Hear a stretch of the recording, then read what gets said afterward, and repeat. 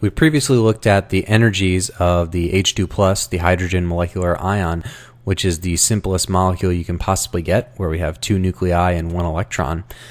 So after looking at the energies, we're now interested in looking at what the wave functions are and what this means in terms of molecular wave functions and chemical bonding. Okay, so we have our uh, Hamiltonian here, and we have our two basis functions. They're each a 1s orbital centered on each nucleus, nucleus A and nucleus B, psi A, psi B. And our wave function is a trial function which has some parameters, which is a linear combination of these two basis functions, psi A and psi B. And we use the linear variational method, which solves uh, the equation HC equals ESC, being the Hamiltonian matrix, overlap matrix, uh, the coefficient vector for each uh, each state, each wave function, and our energies here. We have two basis functions, so we'll get a two by two Hamiltonian, two by two S matrix, a two coefficients in our coefficient vector, and two different energies for each one energy for each vector. So we solved the secular determinant where h minus es, the determinant of that equals 0. So now we want to solve for the values of the coefficients Ca and Cb for each state. So we can use this equation here, h minus es times c equals 0, according to this matrix form of the Schrodinger equation up here. So we're going to have, uh, from what we had last time, from what we had last time, we're going to have HAA minus E. I'm going to use the simplified elements that we discussed, the reason why these are what they are last time. And then HAB again, minus E, SAB, HAA minus E. So that matrix times the vector CA, CB is going to equal a zero vector, a vector whose elements are all zero according to this equation. Okay, so this would give us two equations, two unknowns. We have this times this plus this times this equals zero, and uh, this times this plus this times this equals zero. So that gives us two equations which we can solve for our two unknowns CA and CB. And if you go through the math of working that out, what we can choose is a following solution like this.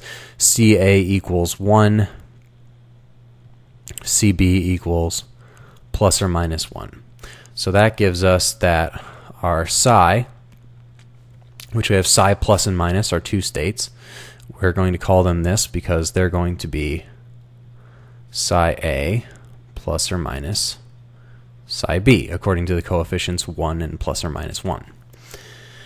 Okay, so that's fine. Uh, we need to make sure that this expression is normalized. So we're going to look at what is the integral of psi star psi? Should be equal to 1, and if it's not, we need to choose an appropriate normalization constant to make it 1. Okay, so expanding this in terms of psi a and psi b, we have in the bra psi a plus or minus psi b, and in the ket we have again psi a plus or minus psi b. Okay, so this is going to give us four individual terms. We're going to get psi star a, psi a, that integral, plus, plus or minus, according to this, psi a, psi b, plus or minus psi b, psi a,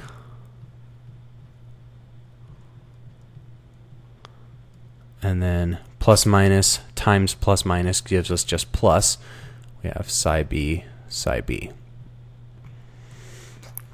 Okay, so according to this, um, we've said that our individual wave functions are normalized. Psi a and psi b are normalized. So psi star a, psi a, that integral is just going to be 1. Similarly, psi star b, psi b, that integral is going to be 1. And these two integrals in the middle here, psi star b, psi a, psi star a, psi b, that was the integral that we defined to be SAB in the previous video. So what it looks like is we have psi star psi is 2 times the quantity 1 plus or minus SAB, the overlap of these two functions here. All right, and that makes sense. So whenever we have our wave function, our psi star psi integral over all of space, we have our normalization constant is always going to be just minus uh, that to the minus one half power because we want psi star psi to equal, we want uh, this normalization constant squared times this integral to equal 1. And that will make that true.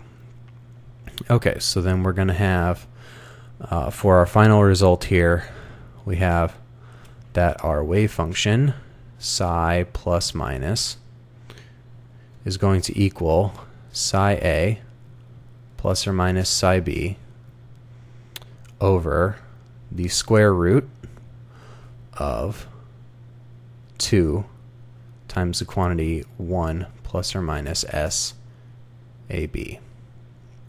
Okay, so again, plus or minus each uh, of the component wave functions, and then a normalization constant which involves the overlap of these as this distance between the nuclei changes. Okay, that all makes good sense. So what does this mean in terms of the density and what happens for bonding? So the density then is going to be psi star psi, psi star plus minus psi plus. But since our wave function is real for all values of r, we can say that that's equivalent to psi squared squared plus minus. So we need to take this quantity and square it here. So what is that going to give us? We have psi plus or minus squared is going to give us our normalization constant squared, which will be 1 over 2 times quantity 1 plus or minus SAB. Okay, that's all good. Then psi A plus or minus psi B quantity squared is going to give us a trinomial here, psi A squared plus or minus 2 psi A psi B plus psi b squared. Now the density of individual hydrogen atoms would just be psi a squared and psi b squared. So the real difference is occurring in this term here. So this is going to give us the difference from our hydrogen atom. And then the normalization constant with the overlap ensures that any density that gets transferred into this overlap, that gets transferred into the middle here, gets transferred out of this uh, individual densities of the individual atoms there. So we have this overlap. We're either going to add to it and fill up the density and add to this stuff in the middle here and form a bond, or this could be negative in the negative part, and that will deplete electron density from the middle here, and that will uh, reduce the interaction there, and that will result in a net repulsion. So if we graph these two out, I'm going to draw four graphs here. One for each state, one for the wave function, and one for the wave function squared. So we've got psi plus, psi plus squared, the density, psi minus, the wave function, and psi minus squared, the density of that state. Okay, and we're going to mark where each nucleus is, where nucleus A and nucleus B are in each case. Say R is increasing this, well, this, not really R, but some, some coordinate. We'll call it We'll call it little r for the coordinate of the electron. Our spatial dimension here along this internuclear axis. Okay, so by themselves, these two wave functions would add up to look something like this. So the wave function psi, you'd have some peak, then it'd go down, and then up, and then down. Individually, they'd tail off, but the two add together, so you get that little extra bit there when they're overlapping. And then that would be the same thing here. Decays off. Again, a little extra bit from the adding together where they overlap. They're the same on the outside. So uh, the individual things by themselves, their, their product there, we'd get something like Again, I want to do this dotted so I can go over top of it later. Have some density there. And that goes away. We again have the same thing, some density, and that goes away. Okay, so what happens for each of these individual states here? So let's pick a pick yellow here. Okay, so for our plus state, we have a plus here. We're adding density into the middle here. So our wave function is higher in the middle, doesn't decay very much, and then goes down. Here, our wave function is going to hit zero in the middle. It's going to decay very quickly, and then go down, go on down to the other side, come back up to zero. So what we have is the density of this decays very little between the nuclei, comes back up, then decays away at long distance. And for our psi star, uh, our psi squared of the anti of the linear anti-combination, there's very little density in the middle there, and it's mostly on the atoms and then further away. Okay, so the important part to notice here is uh, down by this shaded region here, we've got this accumulation of density in here for this plus state where they're adding where the wave functions are adding together. And down here we've got this depletion of density in the minus state where the wave functions are subtracted from each other.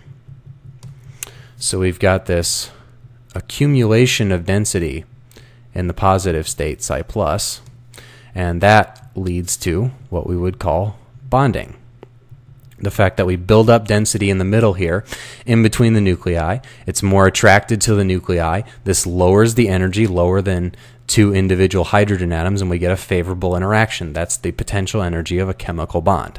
So that is the origin of bonding is this accumulation of density between two nuclei well, in the bond there. And down here, we have a depletion of density in the psi minus state, and this is what we would refer to as anti-bonding. So we're actually depleting electron density between the nuclei here, and it's being pushed to the outsides. So the electrons are less attracted to the nuclei as, as uh, in aggregate, and thus the nuclei repel each other more. And the total net effect is that the energy increases relative to the energy of two hydrogen atoms, and it becomes an unfavorable situation and that is anti-bonding and then those molecules want to push apart.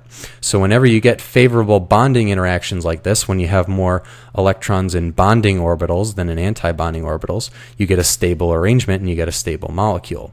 But whenever you have more electrons in anti-bonding or the same number in bonding and anti-bonding then you're depleting electron density between these atoms and they want to push apart and it's unfavorable so this is kind of the very basics of how chemical bonding occurs. We're using the simplest molecule there is, uh, two protons and an electron, to examine this. But these types of general principles hold uh, for more general types of bonds, and as we'll see, uh, gives us very useful ideas that we can apply to uh, larger molecules than this with many electrons.